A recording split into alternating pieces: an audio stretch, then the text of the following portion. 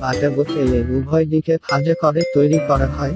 Maple সিরাপের ফোটা বৃষ্টি দিয়ে অনেকে তাদের প্যানকেকগুলি খেতে পছন্দ করেন। প্যানকেকগুলি সুস্বাদু হতে পারে, তবে প্রায়শই মার্কিন যুক্তরাষ্ট্রে একটি মিষ্টি প্রাতরাস খাবার। বেশিরভাগ প্যানকেকগুলি ময়দা ডিম দুধ এবং মাখনের মিশ্রণ হিসাবে শুরু হয়।